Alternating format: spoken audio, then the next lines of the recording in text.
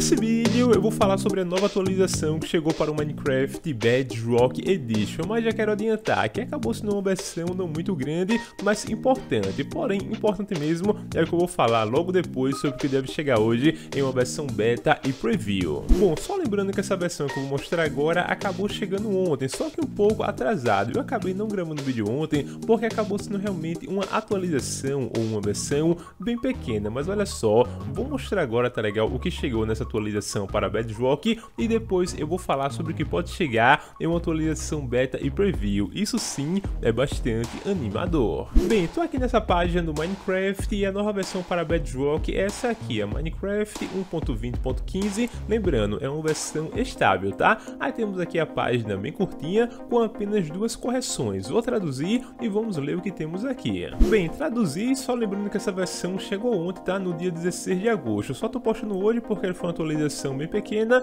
mas vamos aqui conferir o que chegou. É dito que essa foi uma nova atualização lançada para melhorar a estabilidade do jogo. Essa atualização está disponível atualmente no Xbox, Playstation e Android. Outras plataformas receberão atualização assim que ela estiver pronta. Aí aqui temos duas correções. A primeira fala que foi corrigida uma falha superior que poderia ocorrer durante o jogo. Isso aqui é uma falha que ocorreria. Esse nome superior aqui, não entendi por que ficou aqui, mas tudo bem. O segundo ponto, a segunda correção é essa: corrigido um problema relacionado a alguns pacotes que não estavam disponíveis para compra com sucesso na Marketplace. Um probleminha no Marketplace e foram essas as correções. Mas claro, uma atualização que acabou sendo bem pequena e não atendeu tanto as expectativas do que o pessoal estava esperando. Mas Renan, o que é que o pessoal estava aguardando para essa versão? Vou explicar agora e vou explicar o que pode chegar hoje em uma beta e preview. Mas antes, deixa eu mostrar essa publicação aqui do perfil oficial do Minecraft no Twitter, onde temos o seguinte,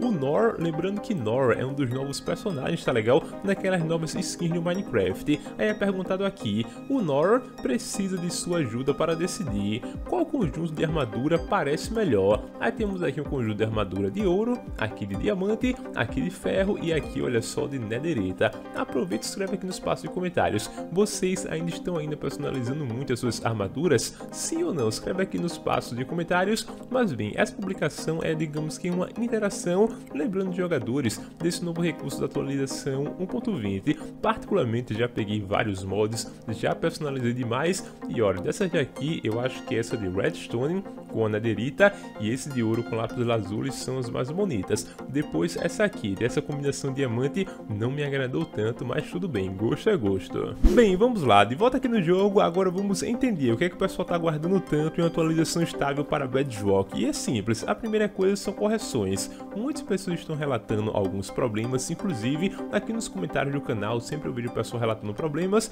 então a atualização estável está sendo muito aguardada por isso, até porque o Minecraft está lançando muitas versões betas e previews, e as correções estão acontecendo nas betas e previews, só que claro, precisa chegar também na atualização estável, portanto, como não chegou na semana uma atualização estável grande, provavelmente na próxima pode chegar uma que venha suprir ou que venha corrigir essas necessidades. Outro ponto que muitas pessoas estão aguardando chegar na atualização estável é simplesmente esses novos shaders. O que aconteceu? Os shaders por enquanto são um experimento e por enquanto só funcionam nas betas e previews, mas como é algo muito novo, infelizmente eu acho que vai demorar para chegar a uma atualização estável. Primeiro o recurso precisa ser mais lapidado na versão beta preview para depois, digamos que é um experimento mais evoluído e assim chegar na atualização estável. Sei que muitas pessoas não gostam de sair da atualização estável para acessar a beta ou preview, mas por enquanto essa é a forma de acessar os shaders, tá? Os shaders não chegaram naquela opção estável. Bem, mas vamos lá, avançando. E agora, o que deve chegar uma atualização beta e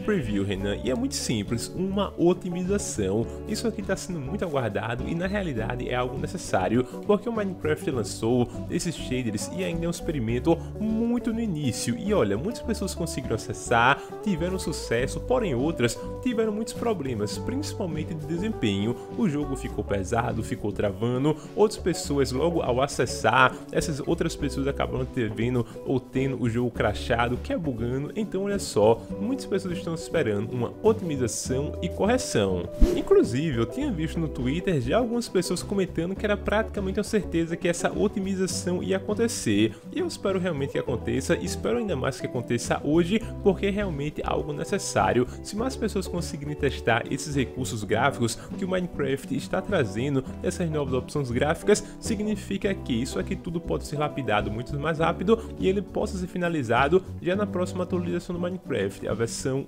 1.21. E é isso pessoal, até o momento tivemos uma pequena atualização estável para Bedrock e a expectativa é que tenhamos uma grande beta e preview de otimização e correção e vamos torcer para que isso possa acontecer. E bom pessoal, se gostou do vídeo, deixa aquele like, se não é inscrito no canal, clique em inscrever-se e também ative o sininho para receber as nossas atualizações. Eu vou nessa, até o próximo vídeo, falou!